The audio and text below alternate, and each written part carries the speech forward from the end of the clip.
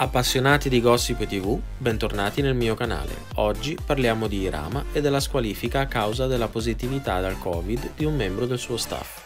Come ormai saprete, Irama è stato sottoposto a tampone ed è risultato negativo, ma da regolamento gli è stato impedito di cantare durante la prima puntata del festival di ieri sera.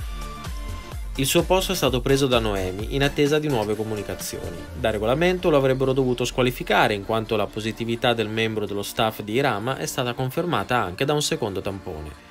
Ma Amadeus, a poche ore dalla diretta, è riuscito in qualche modo a salvare la partecipazione del cantante al 71 Festival della canzone italiana. Amadeus ha infatti chiesto agli altri 25 big se per loro Irama avrebbe potuto continuare a gareggiare con un video registrato lunedì durante le prove e tutti hanno acconsentito. Dopotutto, tutti i cantanti in gara possono essere a rischio di eliminazioni per motivazioni simili ed un po' di solidarietà non guasta. Irama questa sera non canterà, ma vedremo comunque la sua esibizione registrata durante le prove e potremo ascoltare la sua canzone. Irama si è detto dispiaciuto per non poter salire sul palco, anche perché durante le prove non si dà il massimo e non era vestito da gara. Allo stesso tempo si è detto molto grato ad Amadeus e agli altri cantanti per aver consentito questa modifica del regolamento in corsa.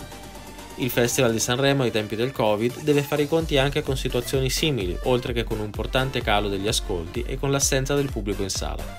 E voi cosa ne pensate? Avete guardato il festival? Questa sera lo riguarderete? Fatemi sapere la vostra canzone preferita nei commenti e se vi va iscrivetevi al mio canale. Al prossimo video, ciao!